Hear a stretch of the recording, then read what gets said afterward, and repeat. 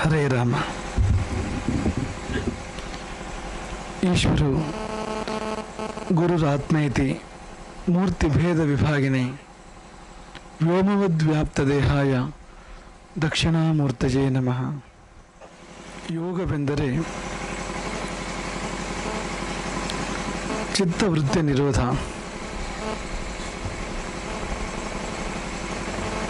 ಮನಸ್ಸು ಸುಮ್ಮನಿರುವ ಒಂದು ಸ್ಥಿತಿ. ತನ್ನೆಲ್ಲ ಚಟುವಟಿಕೆಗಳನ್ನು, ತನ್ನೆಲ್ಲ ರೂಪಾಂತರಗಳನ್ನು ಬಿಟ್ಟು ಮನಸ್ಸು ಸುಮ್ಮನಿರುವ ಒಂದು ಸ್ಥಿತಿ.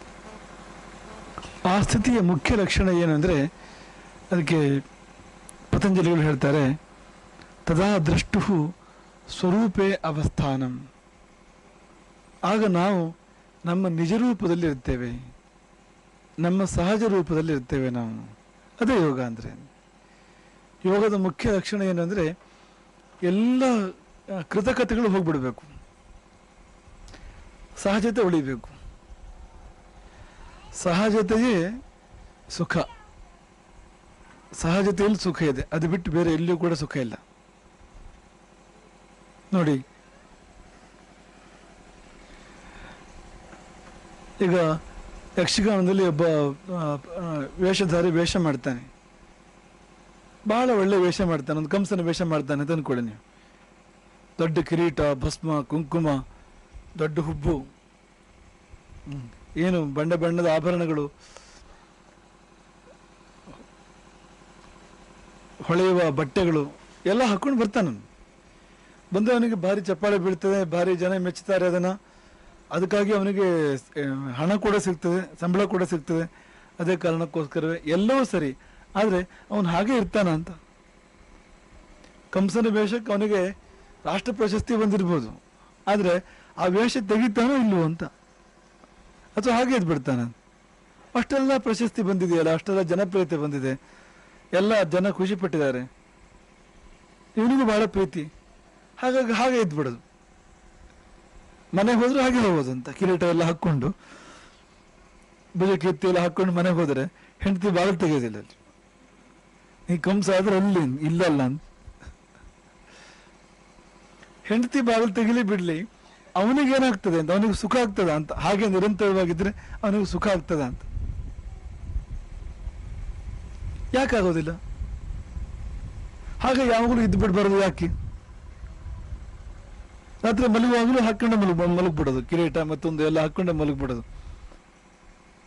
ಮಾಡ್ತಾರ? ನಾವು ಹೊರಗಡೆ ಹೋಗುವಾಗ ಸುಮಾರು ಮೇಕಪ್ ಮಾಡ್ಕೊಳ್ತೆ. ಅಂದರೆ ಮನುಷ್ಯ ಸಾಮಾನ್ಯ ಹೇಳ್ತಾ ಇರುವಂಥದ್ದು ನಾವು. ರಾತ್ರಿ ಮಲಗುವಾಗ ಎಲ್ಲ ತೆಗೆದು ಮಲ್ಕೊಳ್ಳೋದು ಅಂತ. ಎಲ್ಲ ಹಾಕ್ಕೊಂಡು ಯಾಕೆ ಮಲ್ಕೋಬಾರದು? ಕಾಲಿಗೆ ಇದು ಏನು, ಕಾಲು ಚೀಲ ಬೇರೆ ಮತ್ತು ಬೂಟ್ ಬೇರೆ. ತಲೆಗೆ ಹ್ಯಾಟ್ ಬೇರೆ, ಕಣ್ಣಿಗೆ ಕನ್ನಡಕ. ಶರೀರಕ್ಕೆ ಬನಿಯನ್ ಮೇಲೆ ಅಂಗಿ ಅಂಗಿ ಮೇಲೆ ಕೋಟು, ಅದ್ರ ಮೇಲೆ ಮತ್ತೊಂದು ಕೋಟು, ಅರ್ಧ ಕೋಟು. ಕೈಗೆ ವಾಚು ಅಲ್ಲಿ ಇಲ್ಲಿ ಆಭರಣಗಳು. ಹೀಗೆ ರಾತ್ರಿ ಮಲ್ಕೋಬಾರ್ದು ಯಾಕೆ? ಯಾಕೆ ಮಲ್ಕೊಳ್ಳೋದಿಲ್ಲ ರಾತ್ರಿ? ಯಾಕೆಂದ್ರೆ ಅದು ಸಹಜ ರೂಪ ಅಲ್ಲ. ಹಾಗಾಗಿ ಅದು ಸುಖ ಕೊಡೋದಿಲ್ಲ. ತಾತ್ಕಾಲಿಕವಾಗಿ ಅಡ್ಡಿ ಇಲ್ಲ. ಸಹಜವಲ್ಲದ ರೂಪಗಳೆಲ್ಲವೂ ಹೇಗೆ ಅಂದ್ರೆ ಟೆಂಪ್ರರಿ ಒಂದ್ಸರ್ತಿ ಗಡ್ಡಿ ಇಲ್ಲ ಅಂತ. ನಿರಂತರ ಮರೋ ಸಾಧ್ಯ ಇಲ್ಲ ಅಂತ. ಈಗ ನಾವು ಎಷ್ಟೋ ಸತಿ ತಮಾಷೆಯನ್ನು ಹೇಳ್ತೇವೆ. ಶೀರ್ಷಾಸನ. ತುಂಬಾ ಸುಖ ಕೊಡ್ತದೆ ಶೀರ್ಷಾಸನ ಮಾಡಿದರೆ. ಬಹಳ ಸಮಾಧಾನ ಆಗ್ತದೆ. ಹಾಗೆ ಇದು ಬಿಡಬಾರ್ದು ಯಾಕೆ? ಯಾರೋ ಒಬ್ಬ ಕೈಯಲ್ಲಿ ನಡೆದು ತೋರಿಸ್ಬೋದು. ಕಾಲಲ್ಲೆಲ್ಲ ಕೈಯಲ್ಲಿ ನಡೀತೇನೆ ಅಂತ. ನಡೆಯುವಂತ ನೋಡಿದೆ ನಾವು. ಕೈಯಲ್ಲಿ ನಡೀತಾರೆ. ಕಾಲಲ್ಲೆಲ್ಲ. ಇಡೀ ಶರೀರ ಮೇಲಕ್ಕಿರ್ತದೆ ತಲೆ ಕೆಳಗಾಗಿರ್ತಾನೆ ಕೈ ಉರ್ಕೊಂಡು ಕೈಯಲ್ಲಿ ಹರ್ಕೊಂಡು ಬರ್ತಾನೆ. ಹಾಗೆ ಯಾವಾಗಲೂ ಯಾಕೆ ಇರಬಾರ್ದು? ಸಹಜ ರೂಪ ಅಲ್ಲ. ಅದು ಸಹಜತೆ ಅಲ್ಲ ಅದು. ಹಾಗಿರೋಕ್ಕಾಗೋದಿಲ್ಲ ಅಥವಾ ಹಾಗಿರೋದು ಕ್ಲೇಶವನ್ನು ಕೊಡುತ್ತೆ ಜಾಸ್ತಿ ಸಮಯ ಆಗಿರೋದು. ಟೆಂಪ್ರರಿ ಅಡ್ಡಿ ಇಲ್ಲ. ತಾತ್ಕಾಲಿಕವಾಗಿ ಅಡ್ಡಿ ಇಲ್ಲ. ಎಷ್ಟು ರೂಪಗಳು ಇರ್ತವೆ ನಮಗೆ. ಈಗ ಸ್ನಾನ ಮಾಡುವಾಗ ಒಂದು ರೂಪ ಇರ್ತದೆ. ಮನೆಯಲ್ಲಿರುವಾಗ ಒಂದು ರೂಪ ಇರ್ತದೆ. ಆಫೀಸಿಗೆ ಹೋಗುವಾಗ ಒಂದು ಒಂದು ಡ್ರೆಸ್ ಬೇರೆ ಇರ್ತದೆ ಅಲ್ಲಿ. ಅದು ಬಿಟ್ಟು ಬೇರೆ ಎಲ್ಲ ಹೋಗುವಾಗ ಒಂದು ಏನೋ ಒಂದು ಕಾರ್ಯಕ್ರಮ ಇದೆ. ಒಂದು ಮದುವೆ ಇದೆ. ಡ್ರೆಸ್ ಬೇರೆ ಇರ್ತದೆ. ಎಂಥ ದೊಡ್ಡ ಪೊಲೀಸ್ ಅಧಿಕಾರಿ ಆದರೂ ಹಾಗೆ ಮದುವೆಗೆ ಹೋಗೋದಿಲ್ಲ ಅವನು. ಅವನು ಮಾಮೂಲಿ ಬೇರೆ ರೂಪದಲ್ಲಿ ಮದುವೆಗೆ ಹೋಗ್ತಾನೆ. ಈ ಒಂದೊಂದು ಕಡೆ ಒಂದೊಂದು ರೂಪ ಇದೆ ನಮ್ಮದು ಅದು ಯಾವುದು ನಿಜ ರೂಪ ಅಲ್ಲ. ಹಾಗಾಗಿ ಅದು ಯಾವ ರೂಪದಲ್ಲಿ ಕೂಡ ಜಾಸ್ತಿ ಸಮಯ ಇರೋಕ್ಕಾಗೋದಿಲ್ಲ ನಮಗೆ. ಜಾಸ್ತಿ ಜಾಸ್ತಿ ಸಮಯ ಇದ್ದರೆ ನಮಗೆ ಕಷ್ಟ ಕೊಡ್ತದೆ ಅದು ಅಂತ. ಯೋಗ ಏನು ಅಂದರೆ ಆ ಎಕ್ಸ್ಟ್ರಾ ಫಿಟ್ಟಿಂಗ್ಸ್ ಏನಿದೆ, ಹೊರಗಿಂದ ಬಂದು ಸೇರ್ಕೊಂಡಿರ್ತಕ್ಕಂಥದ್ದು ಅದೆಲ್ಲವನ್ನು ಆ ಕಡೆ ಈ ಕಡೆ ಮಾಡಿ ನಮ್ಮ ನಿಜ ರೂಪದಲ್ಲಿ ನಾವು ಎಲ್ಲೂ ಹಾಗೆ ಮಾಡ್ತದೆ. ಹೇಗೆ? ಇಡೀ ದಿನ ಒಂದು ಕೋಟ್ ಹಾಕೊಂಡಿರೋಕೆ ಸಾಧ್ಯ ಇಲ್ವೋ? ಕವಚ ಹಾಕೊಂಡಿರೋಕೆ ಸಾಧ್ಯ ಇಲ್ವೋ? ಹಾಗೆ, ಅದರ ಹಾಗೆ ಈ ಶರೀರ ಶರೀರವು ಕೂಡ ಒಂದು ಕವಚ ಒಂದು ಕೋಟ್ ಅದು, ಒಂದು ಅಂಗಿ ಅದೊಂದು ಮನಸ್ಸು ಕೂಡ ಹಾಗೆ. ಅದನ್ನು ಯಾವಾಗಲೂ ಹಾಕ್ಕೊಂಡಿರೋದು ಆತ್ಮಕ್ಕೆ ತುಂಬ ಕ್ಲೇಶದಾಯಕ ಅಂತ. ಈ ಮೇ ತಿಂಗಳು ಸಖೆ ಗೋಕರ್ಣ, ದಪ್ಪ ಕೋಟ್ ಹಾಕ್ಕೊಂಡು ಎಷ್ಟು ತೀರ್ಬೋದು ಹೇಳಿ. ಇರಲೇಬೇಕಾದ ಪ್ರಮೇಯ ಬಂದರೆ, ಅವನ ಪಾಪ ಅವನ ಒಳಗೊಳಗೆ ಪೂರ್ತಿ ಕಾರಿಗೆ ಹೋಗ್ತಾ ಇರ್ತಾನೆ. ಅಂತೂ ಇಂತೂ ಹಾಕೊಂಡಿರ್ತಾನೆ ಅಷ್ಟೇ ಆಗಿರ್ತದೆ ಅಂತ. ಸನ್ನಿವೇಶ ಅಂತ. ಈ ಭೂತಾನನ ಪ್ರಧಾನಮಂತ್ರಿ, ಅವನು, ಅವನ ಒಂದು ತುಂಬ ಒಳ್ಳೆಯ ಒಂದು ಸ್ಪೀಚ್ ಇದೆ ಅವನದು ಭೂತಾನನ ಈಗಿನ ಪ್ರಧಾನಮಂತ್ರಿದ್ದು. ತುಂಬ ಒಳ್ಳೆ ಕೆಲಸ ಮಾಡ್ತಾ ಇರ್ತಕ್ಕಂಥ ವ್ಯಕ್ತಿ ಅವನು. ಆ ರಾಷ್ಟ್ರ ಎಷ್ಟು ಚೆನ್ನಾಗಿದೆ, ಅಲ್ಲಿ ವಾತಾವರಣ. ಟೆಡ್ ಅನ್ನೋ ಒಂದು ಟೆಡ್ ಟಾಕ್ಸ್ ಅಂತ ನಿಮಗೆಲ್ಲ ಗೊತ್ತಿರ್ಬೋದು, ಅಲ್ಲಿ ಅಂಥವ್ರು ದೊಡ್ಡ ದೊಡ್ಡವ್ರು ಬಂದು ಮಾತಾಡ್ತಾರೆ ಅಲ್ಲಿ. ಅಲ್ಲಿ ಮಾತನಾಡುವಾಗ ಅವನೇನು ಅಂದರೆ ಮಾಮೂಲಿಗಿಂತ ಎರಡು ಡಿಗ್ರಿ ಜಾಸ್ತಿ ಇಡಿಸ್ತಾನೆ ಒಳಗೆ ಎ ಸಿಯನ್ನು ಒಂದು ಸ್ವಲ್ಪ ಹೀಟ್ ಜಾಸ್ತಿ ಇದೆ ಒಳಗಡೆಗೆ. ಸೆಕೆ ಜಾಸ್ತಿ ಇದೆ, ಆ ಥರ ಮಾಡ್ತಾನೆ. ಯಾಕೆಂದರೆ ಇಡೀ ಪ್ರಪಂಚದಲ್ಲಿ, ಈಗ ಇಡೀ ಪ್ರಪಂಚದ ಎಲ್ಲ ದೇಶ, ರಾಷ್ಟ್ರಗಳು ಸೇರಿ ಒಟ್ಟು ಮಾಡಿದ ನಿರ್ಣಯ ಏನಿದೆ ಅಂದರೆ, ನಮ್ಮ ಎಲ್ಲ ರೀತಿಯ ಪ್ರಯತ್ನಗಳು ಮಾಡಿದರೆ ಎರಡು ಡಿಗ್ರಿ ಕಡಿಮೆ ಮಾಡ್ಬೋದು ಪ್ರಪಂಚದ ತಾಪಮಾನವನ್ನು ಅಂತ. ಅದಕ್ಕೊಂದು ಏನೊಂದು ಅಗ್ರಿಮೆಂಟ್ ಆಗಿದೆ ಅದು. ಅದರ ನೆನಪಿಗಾಗಿ ಎರಡು ಡಿಗ್ರಿ ಜಾಸ್ತಿ ಇಡಿಸ್ತಾನು ಆ ಹಾರ್ ಒಳಗಡೆಗಲ್ಲಿ. ಅವನು, ಅವನ ಒಂದು ಅರ್ಧ ಗಂಟೆ ಏನೋ ಸ್ಪೀಚ್ ಅದು. ಮಾಡಿ ಮಾಡಿ ಮಾಡಿ ಕೊನೆ ತಡೆಯೋಕ್ಕಾಗದೆ ಅವನೇ ಅವನು ಕೋಟನ್ನು ತೆಗೆದು ಕೆಳಗಡೆ ಹಾಕ್ತಾನೆ ಸ್ಪೀಚಿನ ಮಧ್ಯದಲ್ಲಿ. ದೇಶದ ಪ್ರಧಾನಮಂತ್ರಿ. ಅದು ಅಂಥದ್ದೊಂದು ವೇದಿಕೆ ಅದು. ಇರೋಕ್ಕಾಗೋದಿಲ್ಲ ಅಂತ. ಯಾಕೆಂದ್ರೆ ಫಾರಿನ್ ಬಾಡಿ ಅದು. ನಮಗೆ ಸಂಬಂಧಪಟ್ಟಿರೋದಲ್ಲ, ಹೊರಗೆ ಆದದ್ದು ಅಂತ. ಹಾಕೊಂಡಿರೋಕ್ಕಾಗೋದಿಲ್ಲ ಅಂತ. ಯುದ್ಧಕ್ಕೆ ಹೋಗ್ಬೇಕಾದ್ರೆ ಹಾಕೋರು ಹಾಕೊಳ್ಳೋ ಹಾಕೊಳ್ಳೋ ಕವಚನ. ಅವನು ಅಡುಗೆ ಮಾಡ್ಬೇಕಾದ್ರೂ ಹಾಕ್ಕೊಂಡ್ರೆ, ಊಟ ಮಾಡ್ಬೇಕಾದ್ರೂ ಹಾಕ್ಕೊಂಡ್ರೆ ಊಟ ಸೇರಿ, ಸೇರೋದಿಲ್ಲ ಅವನಿಗೆ ಅಷ್ಟೇ ಅಂತ. ಹಾಗಾಗಿ ಅಂತಹ ಹೊರಗವಚಗಳನ್ನೆಲ್ಲ ಕಳೆದು ನಿಜರೂಪದಲ್ಲಿ ಇರುವಂಥದ್ದು ಯೋಗ ಅಂತ ಪತಂಜಲಿಗಳು ಹೇಳ್ತಾರೆ. ತದಾ ದ್ರಷ್ಟು ಸ್ವರೂಪೇ ಅವಸ್ಥಾನಂ. ನೋಡಿ, ಮಾರೀಚ ಚಿನ್ನದ ಜಂಕಿಯಾಗಿ ಬಂದ. ಸೀತೆಗೆ ವಿಪರೀತ ಖುಷಿ ಆಯಿತು ಅದೇ, ಆ ಶಬ್ದವೇ ಸರಿ, ಅದು ವಿಪರೀತ ಖುಷಿ ಅದು ಅಂತ. ಸಹಜ ಖುಷಿ ಅಲ್ಲದು. ಅದಕ್ಕೆ ಹೇಳಿದ್ದು, ಒಂದು ಸರ್ತಿಗೆ ಚಂದ ಅದಲ್ಲ ಅಂತ. ಟೆಂಪ್ರರಿ ಖುಷಿ ಕೊಡುವಂಥದ್ದು ಅಂತ. ಆದರೆ, ಅದು ಮುಂದುವರೆದಾಗ ಅದೇ ರೂಪದ ಹಾಗೆಯೇ ನನಗೆ ಬೇಕು ಅನ್ನೋ, ಅದನ್ನು ಕಾಯಂ ಮಾಡ್ಕೊಳ್ಳೋಕೆ ಹೊರಟಾಗ ಆಗಿದ್ದೇನು. ಹಾಗಲ್ಲ, ಯಾಕಾಯ್ತು? ಯಾಕಾಯ್ತು ಅಂದ್ರೆ ಅದು ನಿಜ ರೂಪ ಅಲ್ಲ ಅದು. ಲಕ್ಷ್ಮಣ ಹೇಳ್ತಾನೆ, ಇದು ನಿಜ, ಇದು ನಿಜವಾದ ಚಿನ್ನದ ಜಂಕಿ ಅಲ್ಲ, ಇದು ಮೋಸ, ಇದು ಮಾರೀಚ ಅಂತ ಲಕ್ಷ್ಮಣ ಸಾರಿ ಸಾರಿ ಹೇಳ್ತಾನೆ. ಸೀತೆ ಕೇಳೋದು ತಯಾರಿರಲಿಲ್ಲ ಆ ಸಮಯದಲ್ಲಿ ಅಂತ.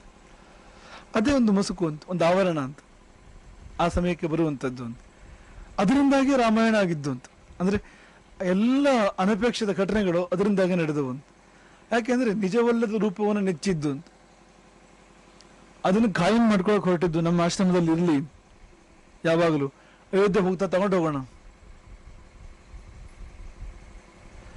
ಕೊನೆಯ ಪಕ್ಷ ಅದು ಜೀವಂತ ಸಿಗದೇ ಇದ್ರೆ ಚರ್ಮ ಆದರೂ ಆಗ್ತದೆ. ಆ ಚರ್ಮ ಇಟ್ಕೊಳ್ತೇನೆ ನಾನು. ಆಸೆ ಪಟ್ಲು ಅವಳು ನಿಜವಲ್ಲದ್ದಕ್ಕೆ, ಸಹಜವಲ್ಲದ್ದಕ್ಕೆ ಆಸೆ ಪಟ್ಲು. ಅದು ಸ್ವರೂಪೇ ಅವಸ್ಥಾನ ಅಲ್ಲ ಅದು. ಸ್ವರೂಪ ಅಲ್ಲ ಅದು. ಬೇರೆ ಏನೋ ರೂಪ ಅಂತ. ಹಾಗಾಗಿ ನಮ್ಮ ಸ್ವರೂಪದಲ್ಲಿ ನಾವು ನೆಲೆ ನಿಲ್ಲಬೇಕು ನೀವು ಆ ಕಥೆಯನ್ನು ಕೇಳಿರ್ತೀರಿ.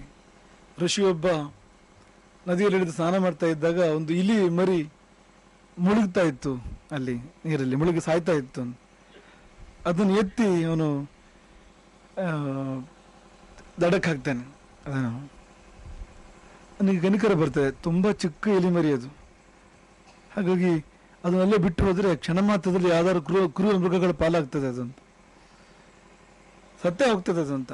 ಅದಕ್ಕೆ ಏನು ಮಾಡ್ತಾನೆ? ಆಶ್ರಮಕ್ಕೆ ತಂದು ಸಾಕೋಕೆ ಶುರು ಮಾಡ್ತಾನೆ ಅದನ್ನು ಆಶ್ರಮದಲ್ಲಿ ಇಲಿ ಮರಿಯನ್ನು ಸಾಕೋದು ಅನ್ನೋದು ಬೇರೆಯವರಿಗೆ ನೋಡೋಕೆ ಭಾಳ ಆಭಾಸವಾಗಿ ಕಾಣ್ಬೋದು ಅಂತ.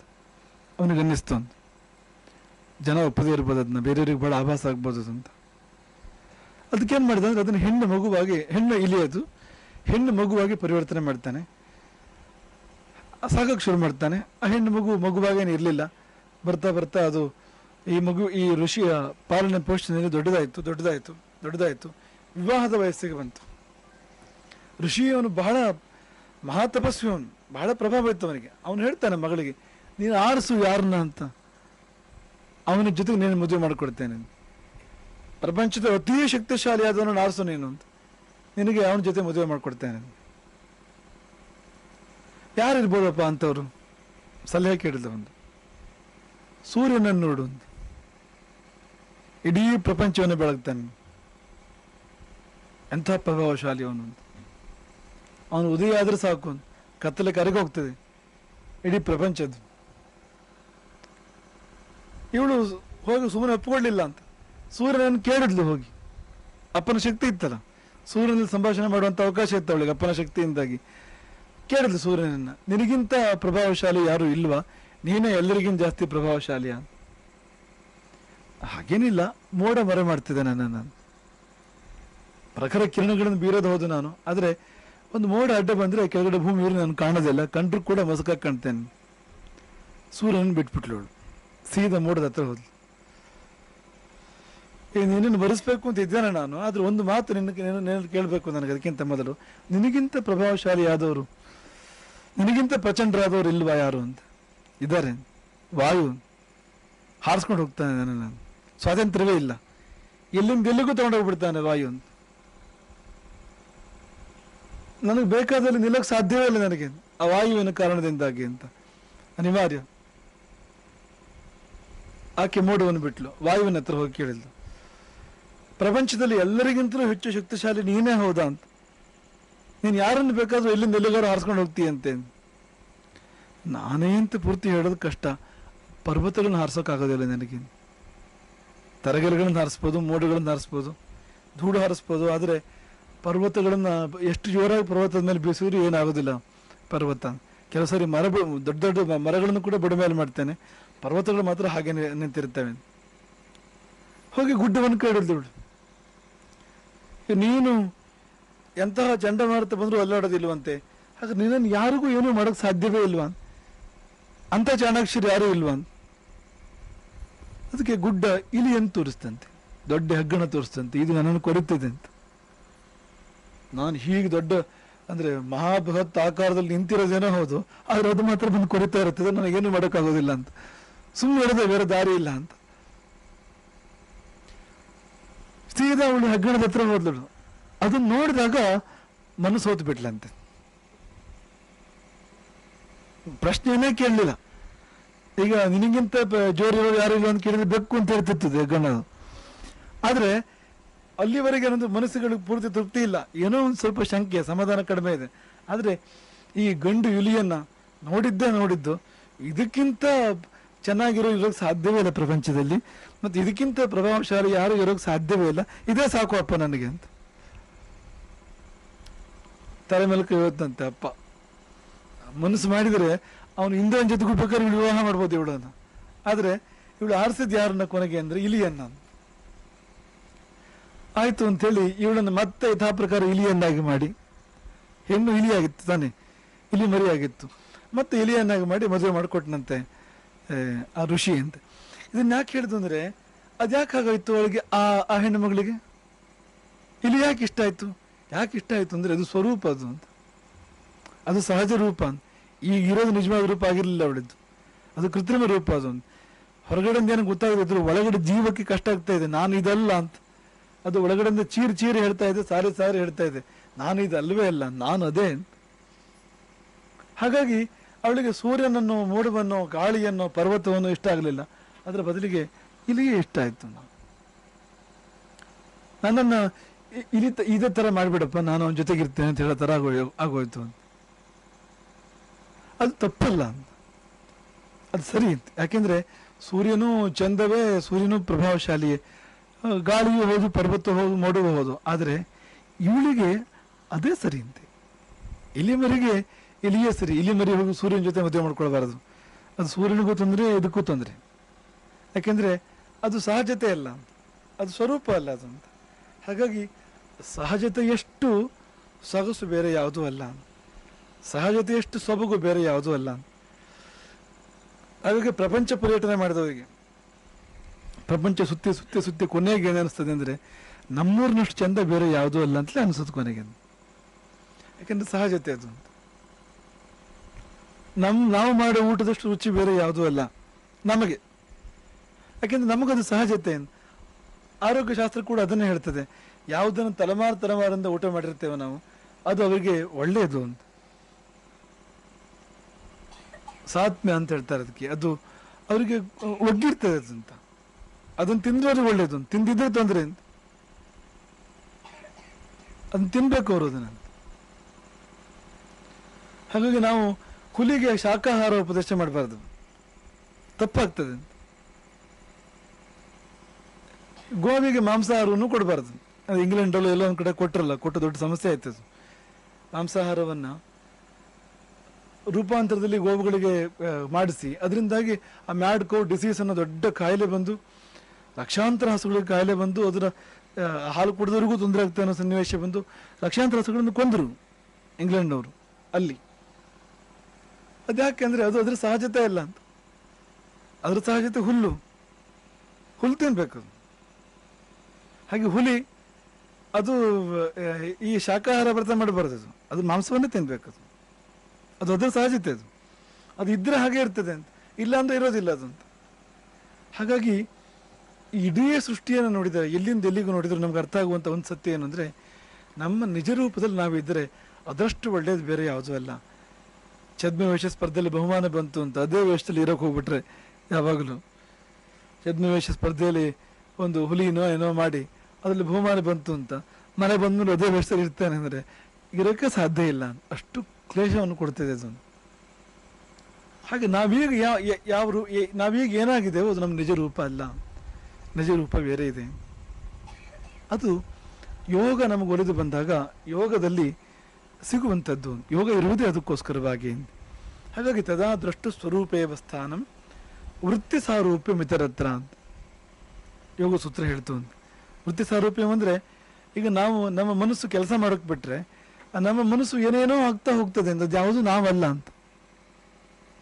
ಇಡೀ ದಿನದಲ್ಲಿ ಮನಸ್ಸು ನಾನಾ ರೂಪವನ್ನು ತಾಳ್ತದಲ್ಲ ಅದೇ ಮನಸ್ಸಿನ ಬೇರೆ ಬೇರೆ ಬೇರೆ ಬೇರೆ ಭಾವಗಳು, ಬೇರೆ ಬೇರೆ ಅವಸ್ಥೆಗಳು. ನಮ್ಮನ್ನೇ ಅವಸ್ಥೆ ತಗೊಂಡೋಗ್ಬಿಡ್ತದೆ ಅದು ಅಂತ, ಮನಸ್ಸು ಅಂತ. ನಮ್ಮನ್ನು ಎಲ್ಲಿಂದ ಎಲ್ಲಿಗೋ ಕರ್ಕೊಂಡು ಹೋಗ್ಬಿಡ್ತದೆ ಅಂತ. ಐದು ಬಗೆಯ ಮನಸ್ಸಿನ ಸ್ಥಿತಿಗಳು ಅಂತ. ತಿಳುವಳಿಕೆ ತಪ್ಪು ತಿಳುವಳಿಕೆ, ಕಲ್ಪನೆ, ನಿದ್ದೆ ಮತ್ತು ನೆನಪು ಎನ್ನುವ ಐದು ಸ್ಥಿತಿಗಳು ಅಂತ. ಅದನ್ನು ಯೋಗ ಯೋಗ ಸೂತ್ರದ ಭಾಷೆಯಲ್ಲಿ ಪ್ರಮಾಣ, ವಿಪರ್ಯಯ, ವಿಕಲ್ಪ, ನಿದ್ರಾ, ಸ್ಮೃತಿ ಅಂತ ಹೇಳ್ತಾರೆ. ಈ ಐದು ವೃತ್ತಿಗಳು ಮನಸ್ಸಿಗೆ ಐದು ರೀತಿಯ ಸ್ಥಿತಿಗಳು ತಿಳುವಳಿಕೆ ರೂಪದಲ್ಲಿರ್ತದೆ ಕೆಲವು ಸಾರಿ ಕೆಲವು ಸಾರಿ ತಪ್ಪು ತಿಳುವಳಿಕೆ ರೂಪದಲ್ಲಿರ್ತದೆ ಕೆಲವು ಸಾರಿ ನಿದ್ರಾ ರೂಪದಲ್ಲಿರ್ತದೆ ಕೆಲವು ಸರ್ತಿ ಕಲ್ಪನೆಗಳ ರೂಪದಲ್ಲಿರ್ತದೆ ಇನ್ನು ಕೆಲವು ಸರ್ತಿ ನೆನಪುಗಳ ರೂಪದಲ್ಲಿರ್ತದೆ ಈ ಒಂದೊಂದಕ್ಕೂ ಅನಂತ ರೂಪಗಳಿದೆ. ನೆನಪುಗಳು ಎಷ್ಟು? ಎಷ್ಟೆಷ್ಟು? ಭ್ರಮೆಗಳು ಎಷ್ಟು ಎಷ್ಟೆಷ್ಟು? ಕಲ್ಪನೆಗಳು ಎಷ್ಟು ಅನಂತ? ಹಾಗೆ ತಿಳುವಳಿಕೆಗಳು ಎಷ್ಟು ಲೆಕ್ಕವೇ ಇಲ್ಲ. ಈ ಐದಕ್ಕೆ ಅನಂತ ರೂಪಗಳು ಅಂತ. ಅಷ್ಟು ರೂಪಗಳನ್ನು ಮನಸ್ಸು ತಾಳ್ತಾ ಹೋಗ್ತದೆ. ತಾಳ್ದಾಗ ನಾವು ಕೂಡ ಆ ರೂಪ ತಾಳ್ತಾ ಹೋಗ್ಬಿಡ್ತೇವೆ ಈಗ ಭಾರತೀಯರ ದರ್ಶ ದಾರ್ಶನಿಕ ಪ್ರಕ್ರಿಯೆಯಲ್ಲಿ ಒಂದು ವಿಷಯ ತಿಳಿಯೋದು ಅಂದ್ರೆ ಹೇಗೆ? ಅದಕ್ಕೆ ತುಂಬಾ ಒಂದು ಸೂಕ್ಷ್ಮವಾಗಿ ಅದನ್ನು ವಿವರಣೆ ಮಾಡಿದ್ದಾರೆ. ಈಗ ಒಂದು ಬಾಳೆ ಮರ ನೋಡ್ತಾ ಇದ್ದೇವೆ ನಾವು ಅಂತ ಅಂದ್ಕೊಳ್ಳಿ ನೀವು. ಬಾಳೆ ಮರ ನೋಡೋದು ಅಂದ್ರೆ ಏನು? ಬಾಳೆ ಮರದ ಜ್ಞಾನ ನಮಗೆ ಬರ್ತಾ ಇದೆ. ಬಾಳೆ ಮರ ಕಾಣ್ತಾ ಇದೆ ಅಂತ. ಕಾಣ್ತಾ ಇದೆ ಅಂದರೆ ಏನು? ಅಂದ್ರೆ ನಮ್ಮ ಮನಸ್ಸು ಕಣ್ಣಿನ ಮೂಲಕ ಹರಿದು ಆ ಬಾಳೆ ಮರವನ್ನು ಸೇರಿ ಆ ರೂಪವನ್ನು ತಾಡ್ತದೆ ಅಲ್ಲಿ ಅಂತ. ಬಾಳೆ ಮರದ ರೂಪವನ್ನು ತಾಡ್ತದೆ ಅಂತ. ಒಳಗಡೆಗೆ ಬಾಳೆ ಮರದ ರೂಪ ಅಂತ ಹೇಳ್ತದೆ ಅದರ ಮೇಲೆ ಆತ್ಮದ ಬೆಳಕು ಬಿದ್ದಾಗ ನಮಗೆ ತಿಳಿಯಿತು ಅಂತ ಅನ್ನಿಸ್ತದೆ ಅಂತ. ನಾನು ನೋಡಿದೆ ಅಂತ ಅನ್ಸೋದು ಯಾವಾಗ ಅಂದ್ರೆ ಇಷ್ಟು ಪ್ರಕ್ರಿಯೆ ನಡಿಬೇಕು ಅಂತ. ಮನಸ್ಸು ಇಂದ್ರಿಯಗಳ ಮೂಲಕ ಹೊರಗಡೆ ಹೋಗಿ ಆ ವಸ್ತುವನ್ನು ಮುಟ್ಟಿ ಆ ರೂಪವನ್ನು ತಾಳ್ತದೆ ಆಕಾರ ತಾಳ್ತದೆ ಮನಸ್ಸೇ ಅಲ್ಲಿ ನಮ್ಮ ಆತ್ಮದ ಬೆಳಕು ಬಿದ್ದಾಗ ಅದರ ಮೇಲೆ ಅದು ಕರಿವು ಅಂತ ಹೆಸರು. ನಮಗೇನೊಂದು ಗೊತ್ತಾಯಿತು. ನಮಗೇನೊಂದು ತಿಳಿಯಿತು. ಏನೋ ಕೇಳಿಸ್ತು, ಕಾಣಿಸ್ತು. ಪರಿಮಳ ಬಂತು, ಅದೆಲ್ಲ ಹೀಗಾಗುವಂಥ ಈ- ರೀತಿ ಆಗುವಂಥದ್ದು. ಆಯಾ ಇಂದ್ರಿಯದ ಮೂಲಕ ಮನಸ್ಸೇ ಹೊರಗೆ ಹರಿದು, ಆ ರೂಪ ತಾಳಿ ಅಲ್ಲಿಗೆ ಒಂದು ಲೈಟ್ ನಮ್ಮದೇ ಅದು. ನಾವೇ ಹೋಗಿ ನಿಜವಾಗಿ ನಮ್ಮ ಮೂಲ ಸ್ವರೂಪ ಬೆಳಕು, ಆ ಬೆಳಕು ಹೋಗಿ ಎಲ್ಲಿ ಬೀಳ್ತದೆ ಅಂತ. ಇಲ್ಲೆಲ್ಲ ಏನು ಅಂದ್ರೆ ಆಯಾ ರೂಪ ನಾವೇ ತಾಳ್ತಾ ಹೋಗಿರ್ತೇವೆ ಅಂತ. ಆ ಬೆಳಕು ಅಂತ ನಾವಾಗಿರೋದ್ರಿಂದ ನಾವು ಹೋಗಿ ಆ ಬೆಳಕು ಹೋಗಿ ಬಿದ್ದು ಹೊರತು ಜ್ಞಾನ ಅಂತ ಆಗದೆ ಇರೋದ್ರಿಂದ, ತಿಳಿಯಿತು ಅಂತ ಆಗದೆ ಇರೋದ್ರಿಂದ, ಅಲ್ಲೆಲ್ಲ ಆಗೋದೇನು ಅಂದ್ರೆ ಈ ಮನಸ್ಸು ಬೇರೆ ಬೇರೆ ವೇಷ ತಾಳೋದು ಬೇರೆ ಬೇರೆ ರೂಪ ತಾಳೋದು ನಮ್ಮ ಜೀವ ಹೋಗಿ ಅಲ್ಲಿ ಸೇರ್ಕೊಳ್ಳೋದು. ಅದನ್ನೇ ಬೆಳಗುವಂಥದ್ದು ಆ ಬೆಳಕಿನ ಮೂಲ ರೂಪ ಇಲ್ಲ. ಹೋಗಿ ಬಾಳೆ ಮಾಡುವಾಗ ಕಾಣ್ತಾ ಇದೆ ಅದು. ಅದನ್ನ ಯೋಗ ಸೂತ್ರ ಹೇಳಿತು ವೃತ್ತಿ ಸಾರು ಮಿತರತ್ರ ಈ ಈ ಯೋಗದ ಸ್ಥಿತಿ ಒಂದನ್ನು ಬಿಟ್ರೆ ಬೇರೆ ಎಲ್ಲ ಸ್ಥಿತಿಯು ಹೇಗಿರ್ತದೆ ಅಂದರೆ ಏನೇನೋ ಯೋಚನೆಗಳು, ಏನೇನೋ ಭಾವಗಳು ಆ ರೂಪದಲ್ಲಿ ಆತ್ಮ ಇರ್ತದೆ ಯಾವಾಗಲೂ ಅಂತ. ಆಯಾ ರೂಪಗಳಲ್ಲಿ. ಒಂದು ರೂಪ ಅಂತಲೇ ಇಲ್ಲ. ಕ್ಷಣಕ್ಕೊಂದು ರೂಪದಲ್ಲಿ ನಾವಿರ್ತೇವೆ. ಅಲ್ಲೆಲ್ಲ ತೊಂದರೆಗಳಿದೆ. ಅಲ್ಲೆಲ್ಲೂ ನೆಮ್ಮದಿ ಇಲ್ಲ. ಕ್ಲೇಶಗಳಿದೆ ಅಲ್ಲೆಲ್ಲ. ಹಾಗಾಗಿ ಅದೆಲ್ಲ ಹೋಗಿ ನಮ್ಮ ನಿಜ ರೂಪದಲ್ಲಿ ನಾವಿರಬೇಕು ಅಂದರೆ, ನಿಜ ರೂಪ ಯಾವುದು ಅಂದರೆ, ನಿಜ ರೂಪ ಆನಂದ ನಮ್ಮದು. ನಿಜ ರೂಪ ಬೆಳಕು.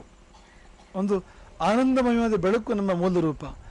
ಆ ರೂಪದಲ್ಲಿ ನಾವು ನಿಲ್ಲಬೇಕು, ನಾವು ಉಳಿಬೇಕು ಅಂದರೆ ಈ ಉಳಿದಿದ್ದೆಲ್ಲ ಕಳೆಯಬೇಕು, ಕಳಚಬೇಕು. ಉಳಿದಿದ್ದಕ್ಕಿಂತ ನಾವು ಪ್ರತ್ಯೇಕವಾಗಿ ನಿಲ್ಲಬೇಕು. ಒಂದು ಸರ್ತಿ ಈ ಪಂಜರ ಬಿಡಿಸ್ಕೊಂಡು ಹೊರಗಡೆ ಬರಬೇಕು ನಾವು. ಅದನ್ನು ಯೋಗ ಮಾಡಿಕೊಡ್ತದೆ. ಹಾಗಾಗಿ ಯೋಗ ಅಂದರೆ ಏನು ಅಂದರೆ ಅಂಥದ್ದೊಂದು ಸ್ಥಿತಿ. ಎಲ್ಲಿ ನಾವು ನಮ್ಮ ಸಹಜತೆಯಲ್ಲಿರ್ತೇವೆ ಅಂಥದ್ದೊಂದು ಸ್ಥಿತಿ. ಅದು ಯೋಗ. ಅದು ಬರಬೇಕು ಅದು ಬರುವಾಗ ಅದು ಬರುವ ದಾರಿಯಲ್ಲಿ ಪಾಪಗಳನ್ನು ಪರಿಹಾರ ಮಾಡ್ತಾ ಹೋಗ್ತದೆ ಅದು. ಅದಕ್ಕೆ ಎಂಟು ಅಂಗಗಳೇನಿದೆ, ಯಮ, ನಿಯಮ, ಆಸನ, ಪ್ರಾಣಾಯಾಮ ಮೊದಲಾದ ಎಂಟು ಅಂಗಗಳೇನಿದೆ, ಒಂದೊಂದು ಅಂಗವೂ ಕೂಡ ನಮ್ಮ ದೋಷಗಳನ್ನು, ಪಾಪಗಳನ್ನು ಪರಿಹಾರ ಮಾಡ್ತಾ, ನಮ್ಮ ಶುದ್ಧ ಮಾಡ್ತಾ ಮಾಡ್ತಾ. ಕೊನೆಗೆ ಆ ಚಿತ್ತವೃತ್ತಿ ನಿರೋಧದ ಸ್ಥಿತಿ. ಚಿತ್ತದಲ್ಲಿ ವೃತ್ತಿಗಳಿಲ್ಲ, ಮನಸ್ಸಿನಲ್ಲಿ ಅಲೆಗಳಿಲ್ಲ. ಮನಸ್ಸು ತನ್ನ ಮೂಲ ರೂಪಕ್ಕೆ ಹೋಗಿ ಆತ್ಮರೂಪದಲ್ಲಿ ನೆಲೆ ನಿಂತಿದೆ. ಅಂಥ ಸ್ಥಿತಿಗೆ ನಮ್ಮನ್ನು ಅದು ಕರ್ಕೊಂಡು ಹೋಗ್ತದೆ. ಹಾಗಾಗಿ ಅಂತಹ ಯೋಗವೇ ಒಂದು ಯಜ್ಞ. ಆ ಯಜ್ಞವನ್ನು ಜೀವನ ಪರ್ಯಂತ ಮಾಡು ಅಂತ ಕೃಷ್ಣ ಸಲಹೆ ಮಾಡ್ತಾನೆ. ದ್ರವ್ಯ ಯಜ್ಞ, ತಪೋ ಯಜ್ಞ, ಯೋಗ ಯಜ್ಞ. ಯೋಗ ಯಜ್ಞನಾಗು. ಯೋಗವೇ ನಿನ್ನ ಪಾಲಿಗೆ ಯಜ್ಞವಾಗಲಿ.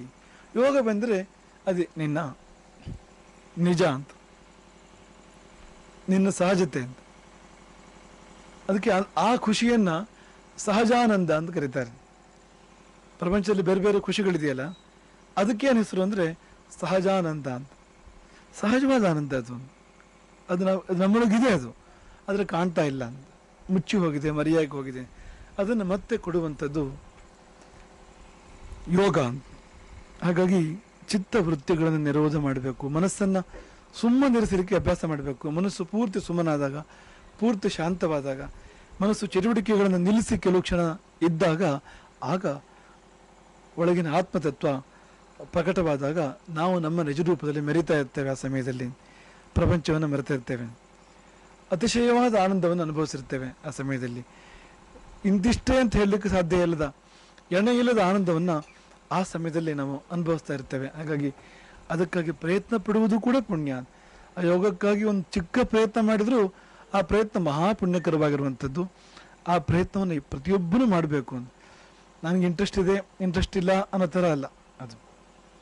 ಪ್ರತಿಯೊಬ್ಬರಿಗೂ ಬೇಕಾಗಿರುವಂಥದ್ದು, ಪ್ರತಿಯೊಬ್ಬರು ಮಾಡುವಂಥದ್ದು ಗೊತ್ತಿದ್ದು ಗೊತ್ತಿಲ್ಲದೆ ಮಾಡ್ತಾ ಇರ್ತೇವೆ ನಾವು. ಅಂದರೆ ಪೂರ್ತಿ ಸರಿಯಾಗಿ ಮಾಡ್ತಾ ಇರೋದಿಲ್ಲ, ಅಷ್ಟಷ್ಟು ಎಷ್ಟೆಷ್ಟೇ ಮಾಡ್ತಾ ಇರ್ತೇವೆ. ಹೀಗೆ ಕೂತ್ಕೊಂಡ್ರೆ ಯೋಗವೇ ಇದು ಕುಳಿತಿರೋ ಈ ಆಸನ ಇದೆಯಲ್ಲ?